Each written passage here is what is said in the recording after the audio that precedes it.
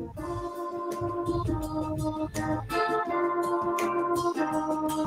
hey, ladies and gentlemen, welcome to another Agency Hour live here in the Facebook group. I'm here with my good buddy Mike Bal from Automattic. Mike, how you doing? Hey, buddy. Good. How are you doing? I'm doing very well, man. This is a bit of Charles Earland, a song called "Happy Cause I'm Going Home." They don't make them like this anymore, do they? Huh? Uh, No, I played jazz band in high school. I played drums, and I got into it pretty heavy for a while, and then it like changes your perspective on all the new music that comes out. You know, Yeah, yeah, yeah. you just hear the complexity and the intent, and you're like, well, it's okay, I guess. Yeah, yeah, yeah. Have you are you uh, are you a fan of Snarky Puppy at all? I've not heard of them, but I'll have to listen. Oh my god, dude. Okay, I'm going to introduce you to Snarky Puppy. All right, I'm just going to leave that with you. Just when we get off Got this it. call, go to Spotify. In fact, go to you. uh, He, he- okay, okay. Bit of a it's story time with Uncle Troy. Um, when we get off this call, go and have a look at Snarky Puppy on YouTube. There's a song called "What About Me" off a record they did called "We Like It Here." They record most of their albums live. They're like a 15 piece jazz funk fusion ensemble. The drummer is a guy named Larnell Lewis. Really interesting story. Uh, I'll tell you very quickly because you're a drummer. Um, uh, the, the, the bass player, a guy named Michael League, he's the bass player who writes most of the songs. He sends the tapes over to Larnell Lewis and says, Here's the album that we're recording in the Netherlands next week. Larnell Lewis is in Los Angeles. He gets the, the files he sticks them on the headphones on a long haul flight from Los Angeles to the Netherlands, and he's hearing the songs for the first time. And so he's just kind of mapping the songs out on the plane and making notes. He gets into the studio. There's like 50 fans sitting around in the studio with wireless headphones on, listening to the band record the album. The whole band are like, "This album's not going well. There's no vibe. It's not going to be one of our our, our best albums. There's just no electricity." Larnell Lewis gets off the plane, gets into the studio, and just plays like you've never seen anything like it before, right? And Oh, he, wow. Everyone in the band is like, if Larnell Lewis hadn't turned up, this album wouldn't have got made. He saved the record. It basically became his record. The song is "What About Me." The album is "We Like It Here." It's live in the studio with a bunch of fans sitting around listening. Go and check it out. It will blow your mind. Every time I'm I've feeling like, every time I'm feeling despondent about humanity, I go watch that that that video, and I'm Mm. like, yes, we are awesome creatures. We can do amazing things. Check this out. Oh, I've got it up. I've got it saved. It's dude, it's unbelievable. Anyway, for those that don't know, who the hell are you and what are you doing here? All right. I am Mike Bal. I'm the head of community growth for WordPress.com, which is one of the companies owned by Automattic. Uh, Troy posted in the Facebook group. We also have like WooCommerce, we have Jetpack, we um, recently acquired Pocket Cast and Day One, and a number of other things under the umbrella. So I'm focused on community growth. It's a new team at WordPress.com. Um, I have my history is in agency. I worked at uh, 10 Up before this, and I actually met Troy at an agency called Single Grain where I was doing social media work for him at the time back when it was WP Engine. So I've done everything from marketing to project management to leadership, um, all in the agency world, and now I'm shifting over back over to more focused, kind of undefined marketing in the the in-house world, which is wild jump. Undefined, undefined marketing. What is that? Uh, what is that exactly?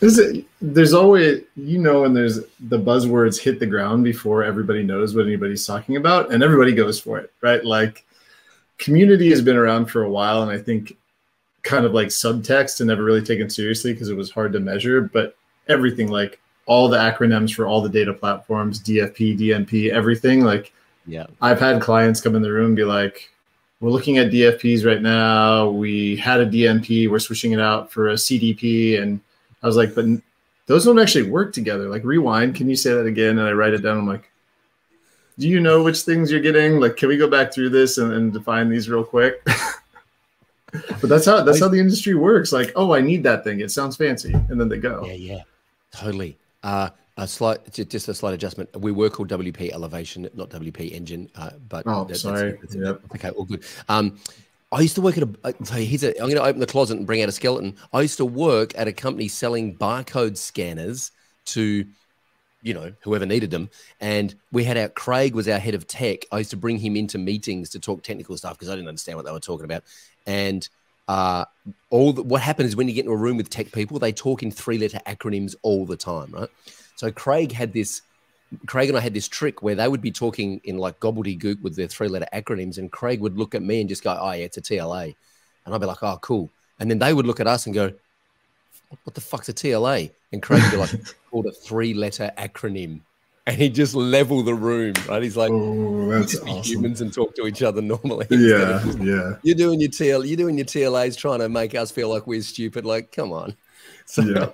Um, hey, for those watching, let us know which country you are from, uh, so that we can get a bit of an indication as to where you are and what time of the day it is, and if you're drunk or if you're just waking up. Clayton is here from Manitoba. Where's Manitoba? I have no idea where Manitoba is. Can someone Google that and tell me? I mean, uh, Canada's uh, a large place. Is it Manitoba? Where is it? I don't know. I'm going to Google it now. I know it's in Canada. I'm pretty sure, at least. Uh-huh. Yeah. James Murgatroyd is here from Edmonton, Canada. He just joined Mavericks Club, which is uh, uh, awesome for him. Ah, Canada. Okay, Manitoba's in Canada. There we go. Canada. There we go. Um, so now I just want to also give a bit of a shout out to, to Mike here before we get start talking about what's happening in Automattic. When uh, Mike mentioned when I first met Mike, he was working for a company called Single Grain, which I think at the time was owned by Sujan Patel. Is that right? Mm-hmm. Is he? Yep. Yeah. Um, I can tell you, hand on heart, the only time in the history of our company we have ever been profitable on the front end running Facebook ads to a Tripwire product, and we were actually earning money as we were acquiring customers through a tripwire is when single grain were running our account. It's the only time in the history that we've ever managed to do it. Uh, we kind of still float around break even, or it might cost us a bit to acquire on the front end. Obviously, then we have, you know, back end stuff that makes it profitable. But we, I remember talking to my business partner at the time and going, oh my God, it's true. It actually can work. You, and we were selling like a $17 tripwire product or something ridiculous. Yeah and we were making money on the front end. So, uh, and then from there, you went to work at TenUp for yep. a period of time. Is that right? What and when when did you? What was the role that you started with at TenUp, and then how did that role evolve?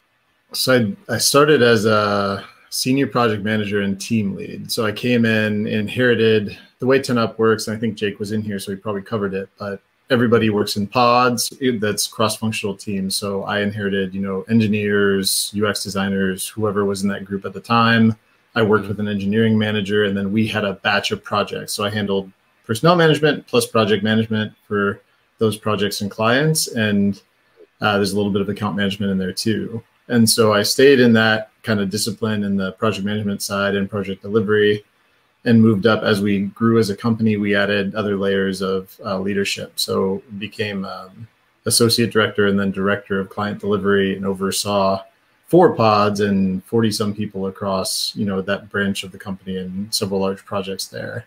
Wow. And then in the shadows of that, we were, uh, there was a demand for kind of analytics work. There's a demand for kind of technical SEO, and then a lot of revenue optimization work that we had been doing within the build side of the project.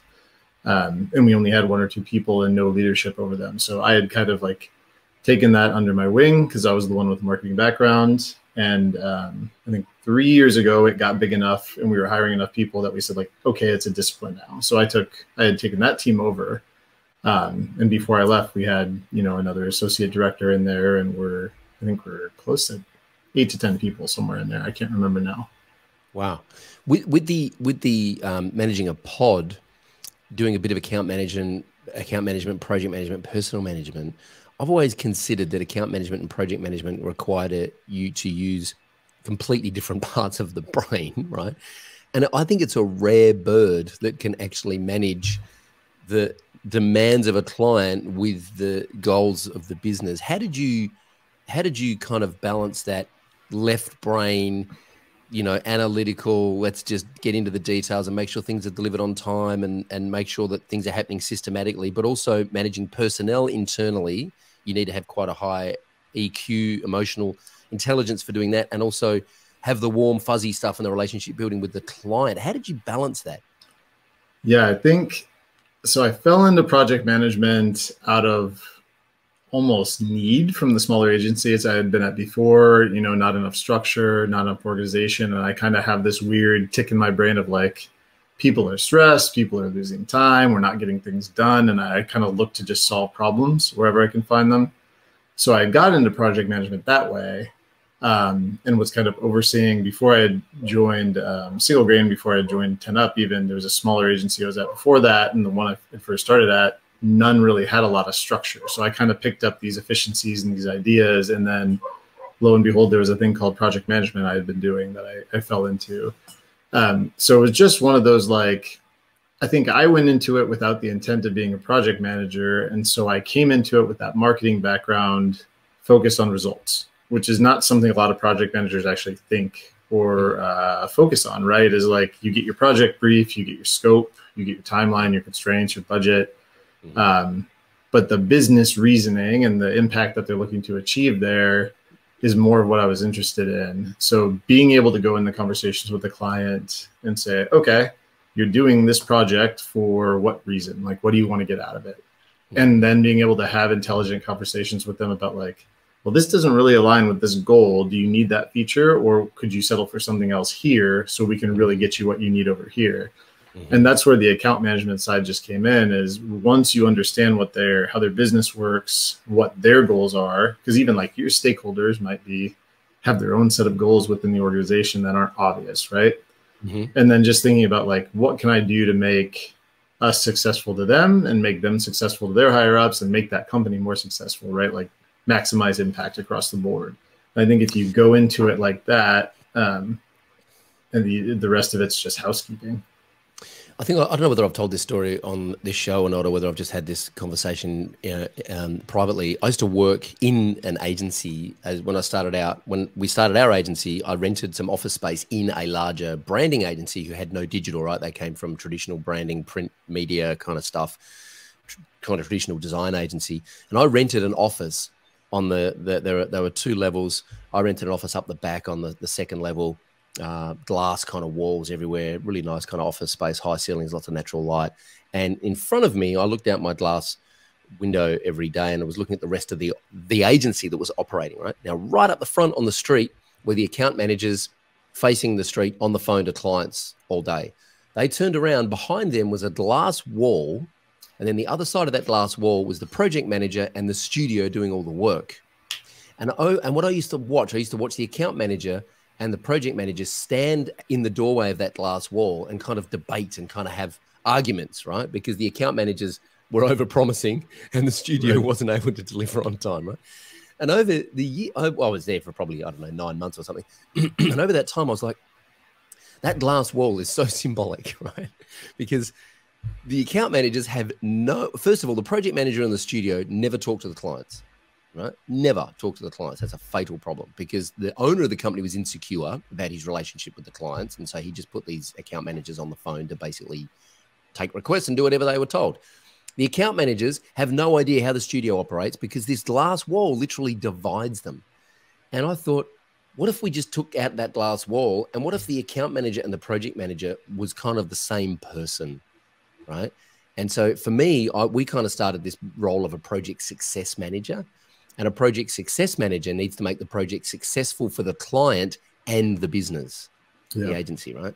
Um, and that changed everything for us because there was not this lost in communication, lost in translation problem that happens in a typical agency structure. Um, any thoughts there? Or i mean i could talk about this for days man. Yeah no i think that's spot on. That's that's a lot of what um, from when i started at 10 up even and there was a team i think 14 team leads with some extra project managers in there um, we made that shift starting to see the bigger projects come through the success we could have even when the projects weren't well defined. Um, we had some big ones that were kind of like how many hours are we going to fluctuate this month? And we have this massive you know, 3000 hour build, but they just approved a thousand extra hours for this feature they want. Can we ship it in time? Like all those things that you can upsell in real time when you're playing that success role mm-hmm. and being able to operationalize it and deliver on it. Like that's really what you need. Not to say you don't need account managers somewhere in there helping with that. Cause I think mm-hmm. there's, there's like a, a nice trifecta where you have like almost the product or project side of it mm-hmm. thinking about the client experience day to day and what they what they overall want and the account mm-hmm. manager kind of like seeing that relationship from 10,000 feet back and also mm-hmm. talking to colleagues and, and making connections within the organization too. Mm. Um, I want to talk about your role at Automattic in a moment and dive into that a little bit, and and particularly WordPress.com and the the you know VIP program and all that kind of good stuff and the community there. Um, but before I get there, you, you've come from small agencies, you've worked your way uh, through to you know larger agencies.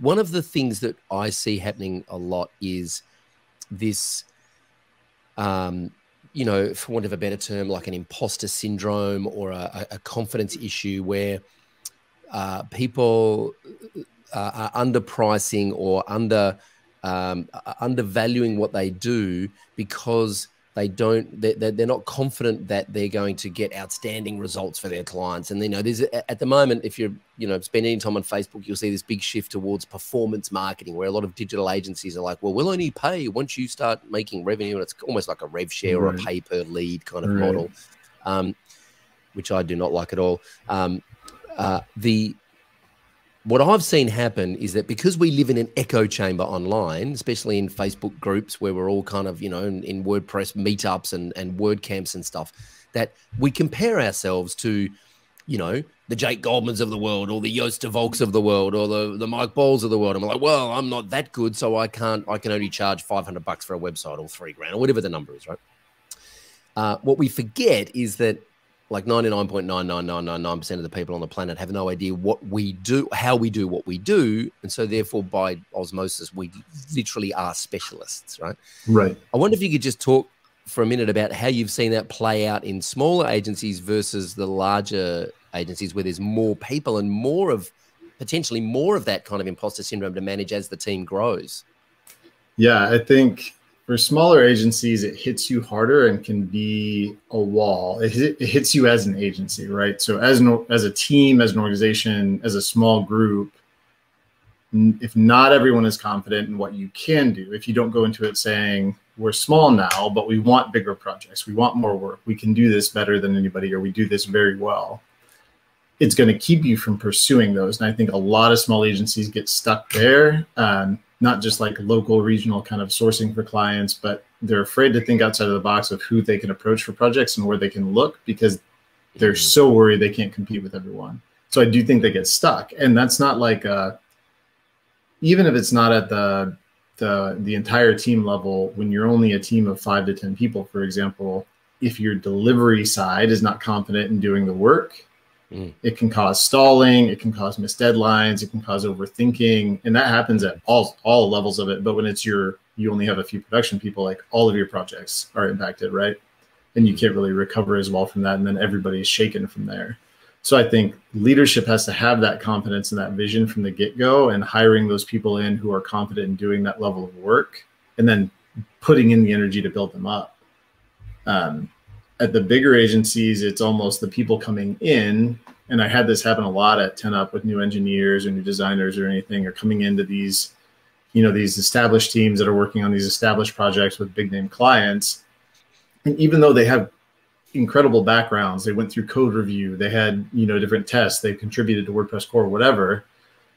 They get in there and they're like, almost decision paralysis. And these mm-hmm. people who who have done this for years are all of a sudden overthinking everything and not able to ship tickets, or they forgot like they're not comfortable estimating anything because they're so worried about like, is that going to be too many? Is somebody going to think I'm taking too long on this, or am I going to underestimate it and miss something and look stupid? And like you kind of got to coach everybody through like it's okay to figure things out. Like nobody gets it 100%, but we got to make you know you have to be decisive and move forward and know what your standard of quality is because it's kind of I guess most people who perform well are ambitious, especially agencies and business owners, things like that, right? Like you're always harder on yourself than anybody else is. That's mm. always true. Any discipline, any person who's ambitious in these roles, and like the people that are crazy enough to love agency work, to love jumping from project to project, are crazy enough to start their own business, like you're always more critical than anybody else is going to be. Mm. And you have to be aware then of how much you let that slow you down. Mm. What do you think? You know, I mean, I've spent years reflecting on this and trying to figure this out. Why do you think we're more critical in ourselves? It's because if, if you look at it and say, okay, well, we we we criticize ourselves and we're harder on ourselves than we are our friends, why aren't we then also why aren't we also then more praiseworthy of ourselves than we are our friends? Like, wh why don't we? Why do we celebrate our friends more than we celebrate our own achievements, and yet we criticize our own shortcomings more than we criticize our friends? Why is that? The my guess, and I'm not. My wife's a therapist, and she knows oh, much so more about this stuff. Yeah, so she's much smarter than I am. Yeah, yeah, that could be scary. um, my guess is your expectation for a friend or a person, um, even on your team or whatever, stays static for much longer than it does for you. Your expectation for mm. yourself this morning may be different than your expectation for yourself by lunchtime. Um, what you know, what you've done, your perception of, of your your perception of how you're doing. If you have a great day and it goes end to end, you're either going to be one of those people that's like, that was pretty solid. I, I, did what I needed to do, you know, and like I'm on the right track and, and kind of accept mm-hmm. it and, and, hopefully eventually celebrate a little bit. But if you have the bad one, like then everything that happens after that's not perfect, you're going to take mm-hmm. twice as hard, you know? Yeah. And that's like, it's like a, a wave, a constant fluctuating state. Yeah. Yeah. And it can, I like, I, w- you know, working from home now, right? Uh, and, you know, my wife is home three days a week with the kids and they're kind of in and out as we're allowed to be with lockdown and stuff. So they might go out to the park for a bit and then come home a couple hours later. She'll come home sometimes and she'll like, wow, you're a completely different person to when I left. Like when I left, you wanted to throw yourself out the window and now you're doing a happy dance. What happened? And then half an hour later, I can be on the ledge again. Right? Yeah. It's like, yep. it, it, and, and I think um, it changes. I think you have to be, you know, it, it's an emotional roller coaster. And if you're not prepared – I feel like you can only feel as high as you as you as you're prepared to allow yourself to feel as low. Like the it's it's right. it's like a it's the law of relativity. Like I'm only able to feel this elation and this joy and this ecstasy because I'm also prepared to feel how bad it is when I feel I'm in the depths of despair and there's no way out and I'm completely overwhelmed and I'm burning out and things are going wrong. I'm prepared to allow myself to feel that and so, therefore, I'm capable of feeling the ecstasy at the opposite end of the spectrum. Whereas if you're not prepared to, to let yourself dip too low, then for me, like I, am only ever going to feel that high, right? If, if this is equilibrium, right, like the dynamic right. range. If you think about a wave file, like the dynamic range, I don't want to compress my feelings because I want those highs when things go well. Right. When, I, when I celebrate, I want to punch the sky and go, "Yes, we're doing an amazing job!" and do my happy dance and go out the back and dance on the trampoline with Oscar and do some slam dunks in his new basketball ring. But when that happens, I've then got to be prepared to be in the fetal position and crying half an hour later when something goes wrong. Right, right.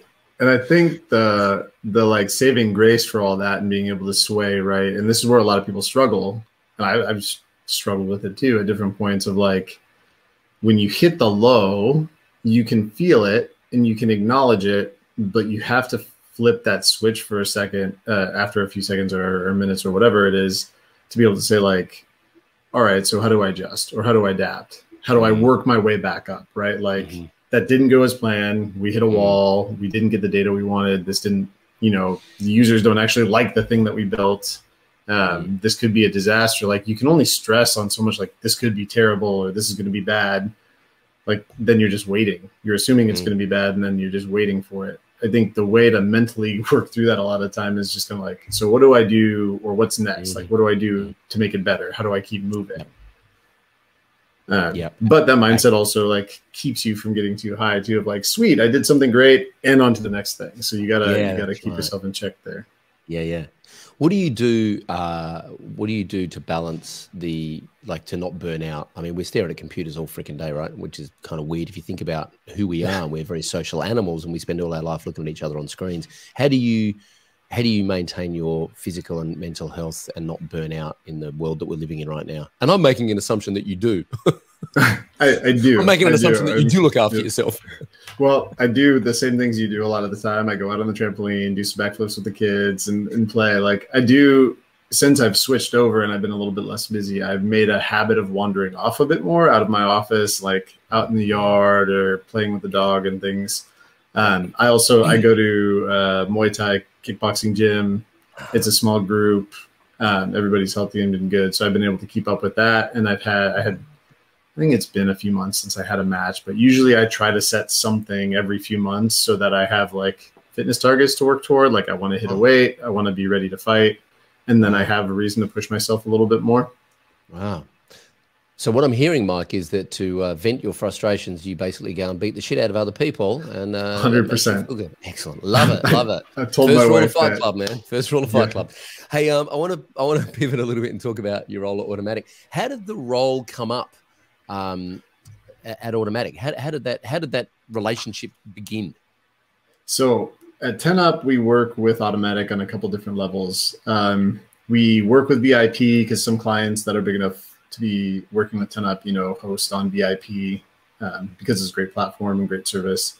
So we work with them there. And then when we were working with the Google News Initiative on some projects, we were also crossing paths with uh, Newspack Team, which is kind of a news focused product and platform that Automattic built um, and rolled out and manages a, as a program. Um, so I've been keeping an eye on things, and I kind of like the team at 10 Up was growing enough that I felt like, hey, this is going well, but it's still at 10 Up. The marketing team was kind of a new team, um, and I was missing the marketing side of things, and, and I'd been away from it for quite a while.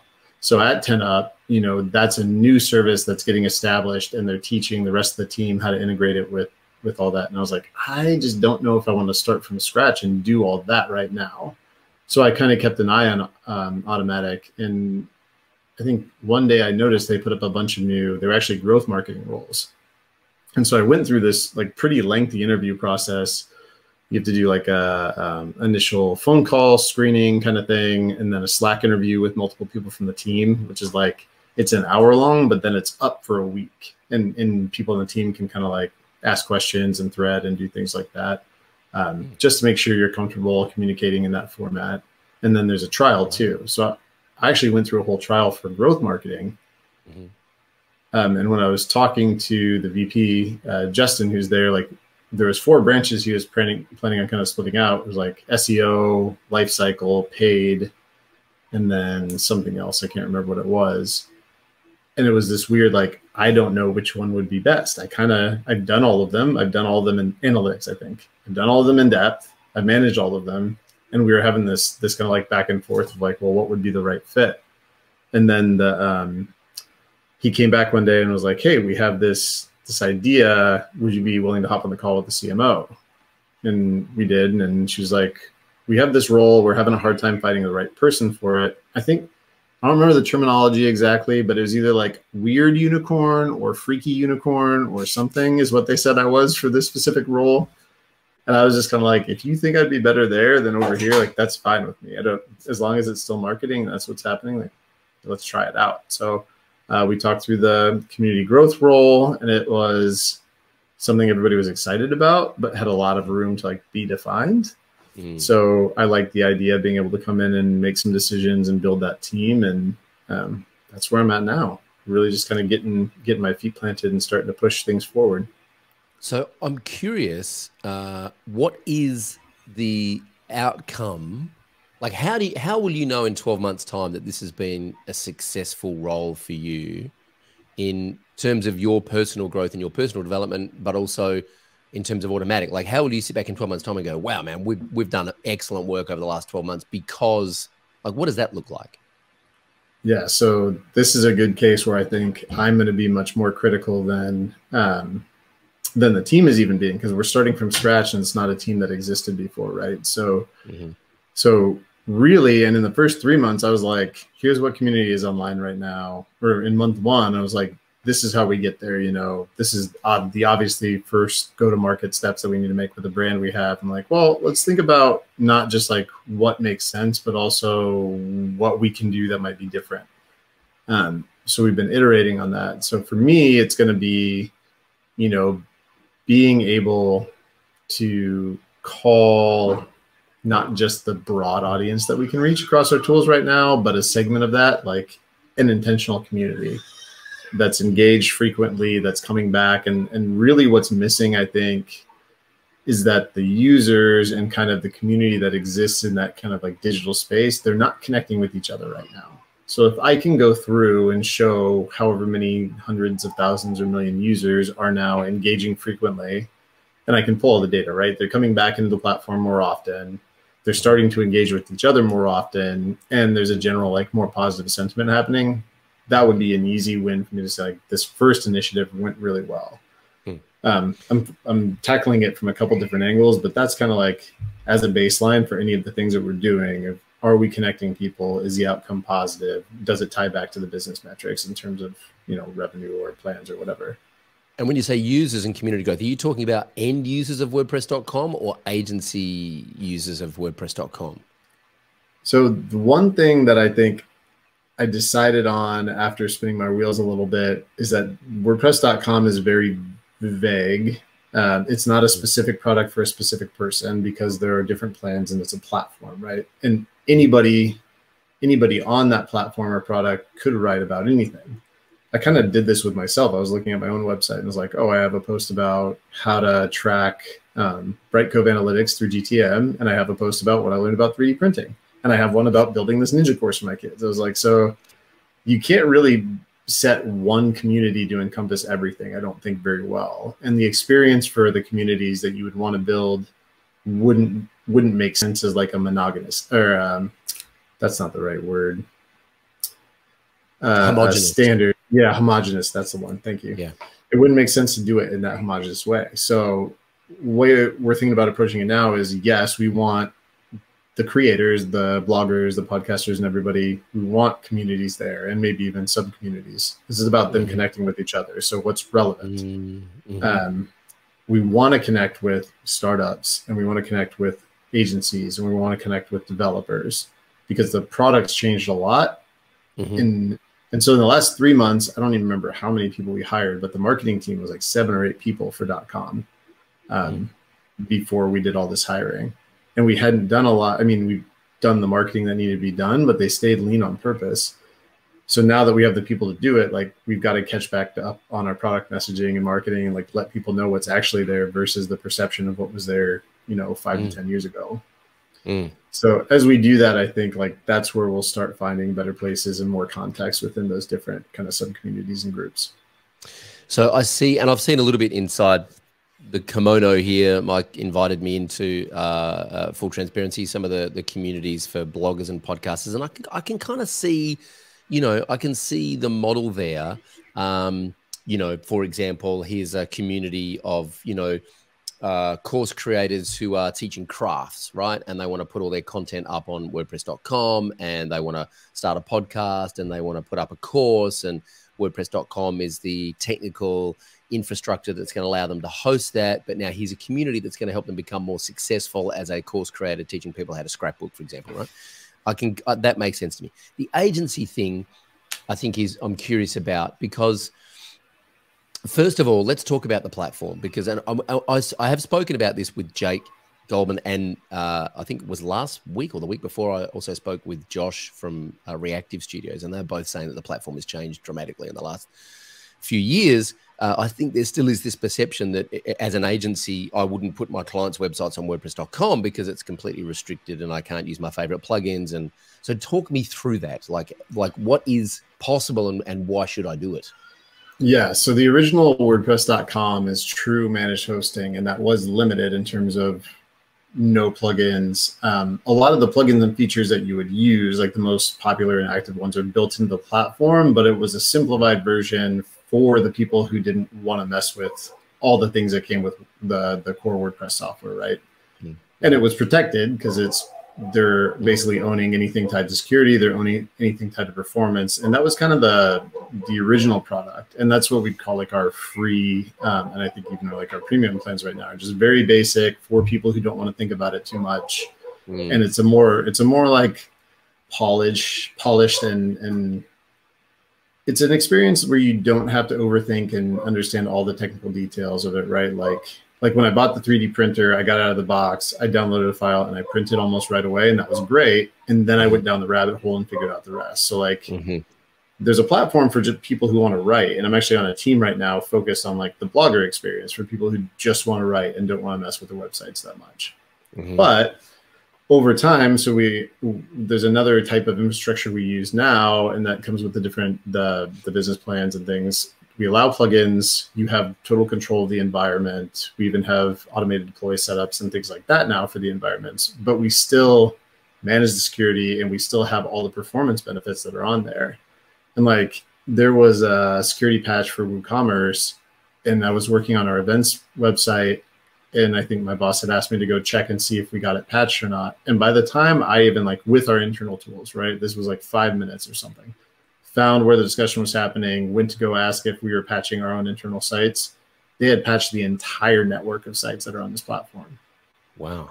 And had the communications ready to go out to customers of like, this is what happened. We patched it already. You don't have to worry about it. So like mm. they still have that same level of security plus the crazy support you get with like the happiness team, but they mm. give you raw WordPress. You get your own site, your own kind of container type thing that's safe and for you to play with, and you can still get that level of support in case you install a plugin that blow something up or break something or whatever. Mm-hmm.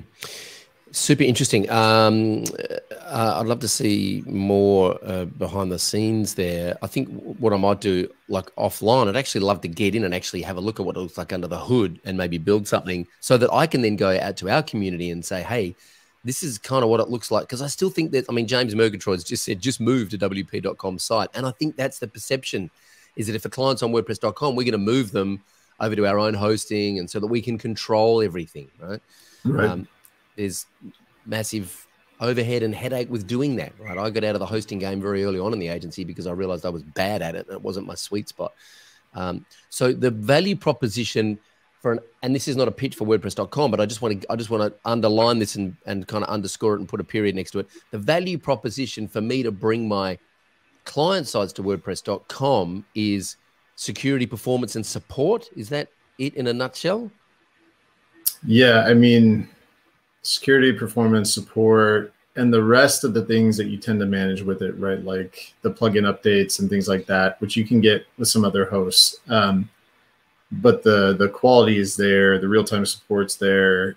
It's, I mean, it's, um, I think of it like it's kind of like having a MacBook versus having a um, a PC or a different laptop. Like at least when I was in college, this is how I remember it. Of like mm. I'd be downloading music, everything would be fine. I'd be using it for classes, and then one day it would just stop working. And I had my roommate work at it, work on it for a little bit, and he'd be like, "You're it's messed up. One of the music files or something is messed up the rest of the computer. You have to reformat the entire thing, right? Like, mm-hmm. and he'd spend hours just getting to that point. Mm-hmm. Whereas like you buy a Mac and it works, and like it just keeps working for the most part and it just uh-huh. keeps working. Like i gave it to my wife. One that i had when i like before single grain 15 years ago i gave it to my cousin mm-hmm. who's using it in college now. So we're yeah. talking like almost 20 years of shelf life on this thing things still functioning. Yeah. like that's almost yeah, unheard of. So it's it's one of those like you don't have to think about it. It will work. And if and the support covers like i did it so everybody who starts Automattic has to do a support rotation two mm-hmm. weeks mm. of actually like functioning as like on the happiness team mm. and, and helping customers. Mm.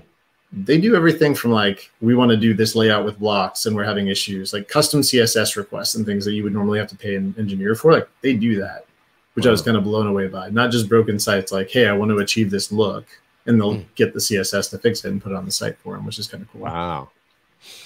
Um. So talk to me about agency. Sorry, before we talk about agency community, how does this talk me through this? Because Automattic are investors in other hosting companies, right? They're investing. They've invested in WP Engine. They bought. They bought Pressable, I believe, and acquired yeah, Pressable. Yeah. And, and like, that's actually where some of that architecture came from for the business plans and things too. So, how does this play out? I mean, uh, uh, essentially, uh, uh, is WordPress.com a competitor of WP Engine? I think it, we don't I, we don't talk about it that way internally. I don't think like um, our competitor list we look at is more Wix and Squarespace versus every single other host that's out there. Like we even have partnerships with some of the hosts for some of the domain stuff, and like mm.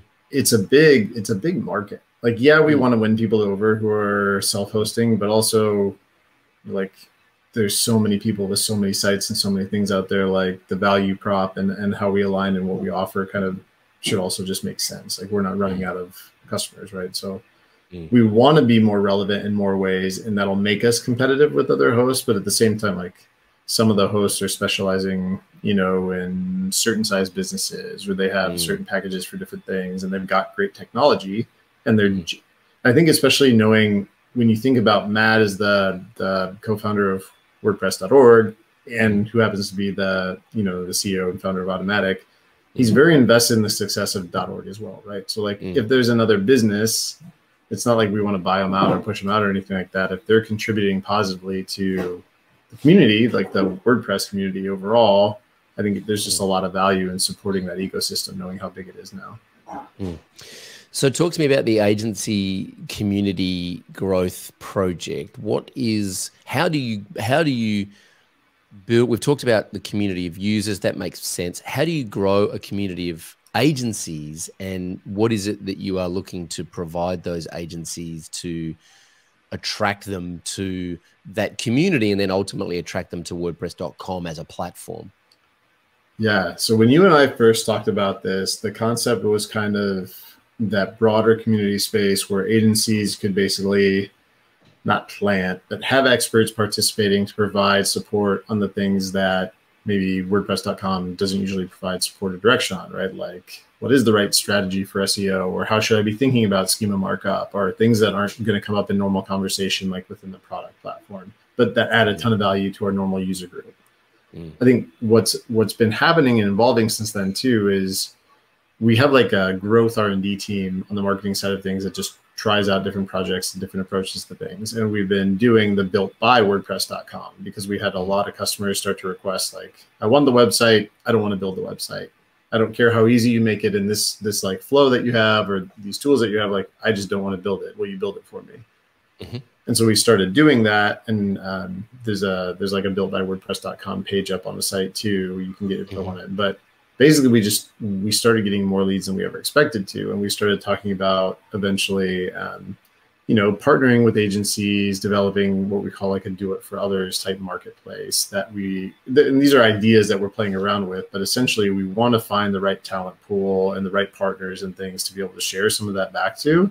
And if you go back to what I said about connecting people so that they're helping each other, instead of doing it in this way where it's topic focused and experience or like information focused, could be like more of a true marketplace where it's, I need this thing done. Who can pick it up? Almost like what Fiverr is, which we we do some of that with Fiverr, but a little bit more, I think, higher level and, bigger projects.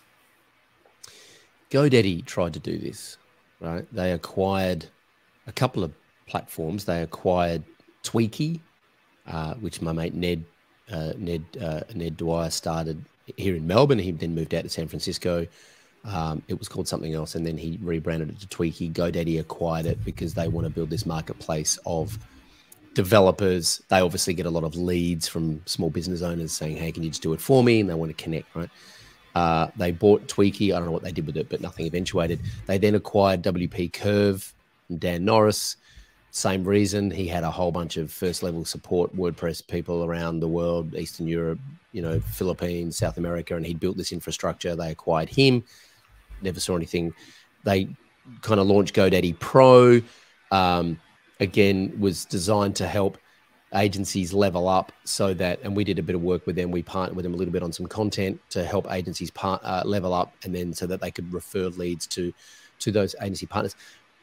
I've never seen GoDaddy been trying to do this for years. I've never seen this. They're not the only ones. I, I haven't seen this work yet, and I have some thoughts on this. But I'd be curious to hear what you think. I think it can work. I think it's um, going to take an enormous amount of work to manage people's expectations and and connect. It's like dating, right? This is like Mm-hmm. this is like this is like married at first sight at a massive scale where the stakes are really high. Um, because if you get this wrong, you know this, it's just going to Mhm. reflect really poorly on WordPress.com as a platform, not just the built by WordPress product. It's going to reflect really poorly on the platform.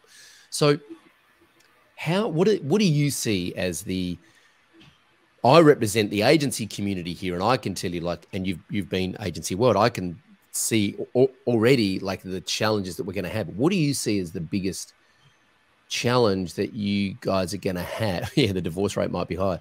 Uh, what do you see as the biggest challenge here, and why are you getting into this game? Because I, the, some of the the whispers that I hear in channels is that oh well, WordPress.com are getting into the web design game and the web dev game, and they're all going to put us out of business, right? So full transparency, you guys are looking to just funnel these leads to agency partners who can then take the work. You're not actually you don't have a team of developers in house building sites for clients, right? No, it's a super small team right now, and we're really playing and like this this was my pull my hair out of my head moment when I first started too. Was like the way that we do things, like let's pilot an idea and let's see how it goes, and then let's decide if it has a space here or what we want to do with it. So there's a lot of experimentation and little initiatives that and that kind of get started and get invested in, and, and we explore kind of what we're doing, and that's that's really where we're at um, with a lot of the ideas and concepts. And honestly, when you talk to um, that team later, that could be feedback where that comes back and everybody's like, maybe we, we need to think about this a little bit longer before we go that route. I think the the difference is if you think about GoDaddy and you think about .com and the difference in pricing and what that means for the customer. Mm-hmm. People go to GoDaddy for flash sales for domains. Then they're kind of following through that flow of like, okay, I can get my hosting for under 10 bucks a month or whatever. And that's before they know about in all the other competitors that have all the other selling points, right? Like it's just kind of an easy flow and, and tends to be a well advertised platform. Mm-hmm. Um, not saying there's nothing good there, but like that's how a lot of people end up there is like a low cost, low risk investment in maybe the first website or a quick website or whatever. Mm-hmm those people are not going to want to pay an agency to do a lot of work for them if they're trying to find like they're already risk adverse, right? They don't necessarily know what they want to do and they don't have the experience to do what they want to do.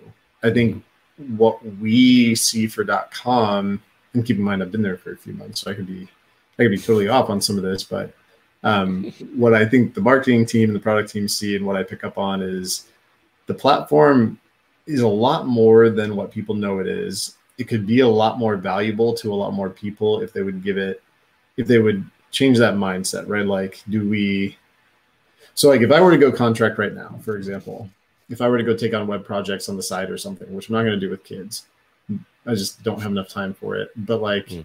it would be a no-brainer for me to say like okay i'm going to build this difference in x dollars a month. I don't remember. I think our business plan like 25 bucks a month or something. Sorry i don't know our pricing off the top of my head whatever it is versus the ten dollars. And then if I really break it down, right, like oh, I've got to pay for an SSL cert, I've got to pay mm-hmm. for uh, CDN to get it up. I'm like oh wait, that's already baked into this plan. Okay, mm-hmm. cool. Even if I pay more, knowing that I don't have to deal with it, mm-hmm. knowing that I don't have to manage it, gives me better margins, right? Like mm-hmm. I can sell all that as part of what I'm offering. Actually, I think in this in in our group, people were talking about um, using the different platforms and kind of like marking up some of the hosting and, and getting a little bit back, right? Like mm-hmm. that's how you make money in business. You're solving problems and providing mm-hmm. solutions that nobody can find on their own. Mm-hmm. I would easily go this route knowing what's behind the scenes. But the crazy thing is, I had no idea what was behind the scenes until I started. So that's kind of our biggest challenge is like getting this back out and presenting mm-hmm. it. Because I know, and again, I've only been there a few months, but like the way mm-hmm. I pitch it is not how we've been pitching it at all. Mm. What do you, where do you think this is going to go sideways, right? If you start referring leads to agency partners, where can you see that that relationship is going to go sideways?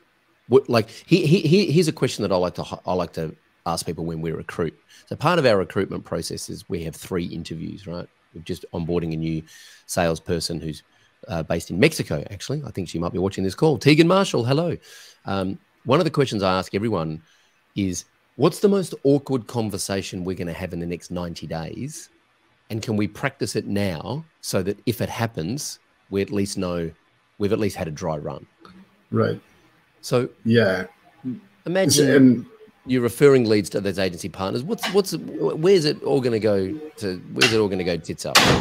I think the awkward conversations are probably so internally first, right? If I'm coming in as a skeptic and saying, how are we scoring these leads? How are we evaluating what size of project they are, how likely they are to close, like when they're ready to hand over to somebody else? Or are we staying back from that entirely? And how do we manage that expectation? And then with the agency, that same awkward conversation, which is you have to be a little bit ballsy to go into it this way, is like, do you know what you're doing? because we're not going to start sending customers your way if you don't know what you're doing. Like we can we can work on a streamlined process. We could share tools and things like that to kind of make sure everybody has the right experience with it. But if we if somebody gives you a lead that's ready to build and sign at a certain price point, and I've had this happen to people before too, where I've been like, hey, this is their budget. They need a project. They need a solution. I've told them your work is good. Go. Mm-hmm. Mm-hmm. And the dumbasses like doubled the bid on them and mm-hmm. lost it. I'm like, mm-hmm. I told you what the price point was, and I know you make margin off that. Like that was a stupid mm-hmm. thing to do. You know, like that you kind of have to play within the system and understand like the give and take that's there. Mm-hmm. And and they have to give back, right? Like mm. if if if WordPress goes down the .com goes down this route and decides to invest in it and wants to find the right agency partners, it's not going to be floodgates. It's going to be mm-hmm. carefully vetting the ones that can go through, ironing out that process, mm-hmm. and and having the like honestly those awkward conversations. And it wouldn't mm-hmm. be, do you know what the hell you're doing? Unless it mm-hmm. was me on the call. But there's nicer mm-hmm. people that'll probably handle that. Like mm-hmm. it's going to be some drill down vetting and almost like that interview process of okay, what's mm-hmm. the hardest thing you have to deal with? Are you going to be able to handle this? Like, mm-hmm. is our vetting process going to be enough for you to get you to your vetting process? Or is there a big red flag of, because nobody wins if it goes sideways, right? The agency's That's pissed right. off, the customer's pissed off, and we have all the pie and everything else on our faces. That's right. That's right. And I think that I think that I think one of the challenges here is that the risk is that you know if the vetting process like the risk is then that it just becomes another exclusive club where, well, you know, I can't get leads from WordPress.com because I went through their interview process and some guy asked me some stupid question that I couldn't answer on the spot. and so therefore they don't think I'm very good at what I do. Right. Um, So, so it's a, it, I think this is a massive education campaign for, which is something I, you know, was telling GoDaddy for years is, you know, you like the, the, the, all, I, I believe that all uh, conflict between human beings comes down to a misalignment of expectations and an underlying fear that hasn't been addressed or managed or mitigated, right? And so from the leads that are coming through, they need to have their expectation needs to be set that this is not a Bluehost or a GoDaddy thing. This is not Fiverr. This is not Upwork, right? This is uh, the people that we're going to put you in in contact with are vetted they have passed our kind of tests, right? And then on the flip side of this, the expectation needs to be set from the from the agencies that the leads we're giving you um, have been vetted through some kind of process. And this is a really tricky space to play in because it's not just a set and forget. You know this, right? I know I'm preaching right. the converted here, but you know it's not. We don't just set your expectations and then put you in a marketplace and let you guys figure it out because that's a recipe for disaster. It's a constant education and coaching piece to make sure that their expectations are constantly being managed as well. And I yep. think the risk is that if you just drop people in a marketplace and go, well, we're facilitating the conversation, but we don't want to really be a part of that conversation, is that it then could potentially reflect badly on WordPress.com as a platform. As I said, not just a product built by WordPress. Anyway, this is just my two cents. Um, from what I've seen happen in the past. And I think this is one of the reasons that these marketplace, I haven't seen a marketplace really succeed like this. But you guys are kind of already doing this with the VIP program, right? Uh, a little bit. They have a lot of agency partners, and there's different level of agency partners that they vetted and work with. Um, like 10up was a gold level partner, I know. Mm-hmm. Um, so depending on the business and the relationship, and like where they're bringing clients in, and kind of like the level of sophistication, there's there's that there too. Like I, you know, 10up was probably one of the first ones to do a headless React build on WordPress on VIP Go when that platform was in beta and we were working through that and things like that. So we have those relationships. We know when to talk to them. We have the technical expertise in house, and there's kind of that advocacy and relationship going back and forth. Mm. Dot com, you know, like that's a good point too, because depending on what scale that's at, it could just end up being the VIP program scaling out bigger and taking on like a different entry point or it could be something that mirrors that but then has some clear swim lanes that are drawn there um, we've been talking about how we'd love to see and, and we had it happen i think we have it happen semi-frequently but i think this month one of our customers graduated from being on the dot com infrastructure to moving up to vip just because they were scaling more and wanting to invest more and wanting to expand the technology and needed more kind of like hands-on yeah. account management type hosting And that makes perfect sense. If there's an ascension model there, people want to develop, they want to aspire to the next level, uh, and that's a carrot that you can dangle, and it's a, a finish line they can cross, and then you know, uh, and then graduate to the next level. So that makes perfect sense. Um, I do think also that the not only you, you, kind of mentioned the kind of volume of leads that you're getting at, at built by WordPress, which is quite phenomenal. I do think that once you start opening this up to agencies or freelancers that uh, you you know be inundated and the vetting process there is going to be quite um, voluminous. Is that a word? Or is it voluminous? I think it's voluminous. I hear voluminous when i see it so yeah, yeah. say that. You're going to get a shitload of people wanting to be hey send me your leads right, right, um, right. What, what's what's what sort of infrastructure like personnel wise are you guys kind of building out to manage that those relationships? We're not even that far into it yet, right? right. So like we have the flux, we have some betting and scanning and and not even automation in place right now for it. And that was one of the reasons when I found out we were doing this, I was like, you all need to talk to Troy. Like this is what he does. I've been talking to him. He's helping me. He'll help you too, kind of thing. Yeah. But but like I said, it's in the R and D phase, which is like very much that philosophy of like let's get even if we have to do it in a hacky manual way from a concept mm. standpoint, let's mm. validate the idea. Mm. And then let's talk about what it means to build it at scale. Like where are the pain points? What would be really hard to do? And we've done that with projects I think in the past that I dug up when I was kind of doing my research and like, you know, if you don't validate it, you don't do the research, you don't track the impact of things, they will sleep out or go away for a little bit. But then you can, when we have those numbers and we're being proactive, we have a tend to scale or go up with it, we can kind of explore like what could it be? There's actually a good opportunity because nobody's so attached to a specific direction. Like a lot of the questions you're asking me would be like, if we had a, a specific vision or a specific plan, we're really married to it. Mm-hmm. But I think that's one thing that's been um, refreshing on this side of is like and, and almost annoying too, if I'm being honest. Like the concepts, the concepts are very like spongy and moldable. Um, and it, it takes like a kickstart to get them out of that phase into something a little bit more solid. So like yeah, yeah. Where I came in thinking like it's a solid concept, we're going, right? It's yeah. like, no, we're gonna spend some time massaging this and getting it to be this like yeah. right form and shape. Like I'm not a sculptor. Yeah. I can sketch on paper, which is two dimensional. Like like my sister's totally different than me and she does three dimensional artwork and stuff like that um, yeah.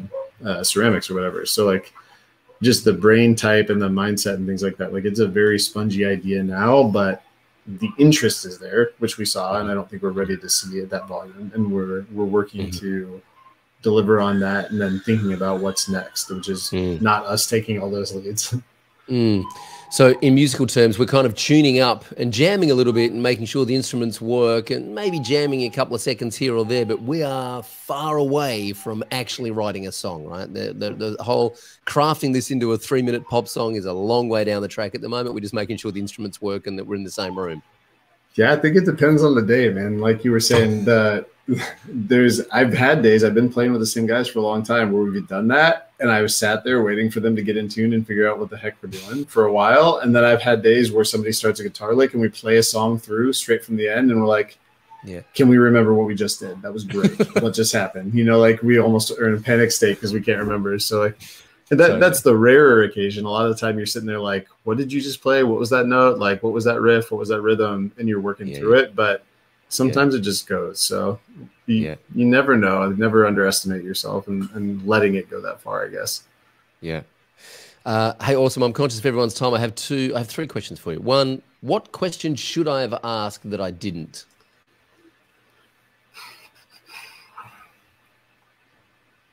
I mean, if you were if you were feeling spicy, you could have asked something about what what dot .com doesn't do well or where where we need to be improving. I guess. Um, Ooh, that's good.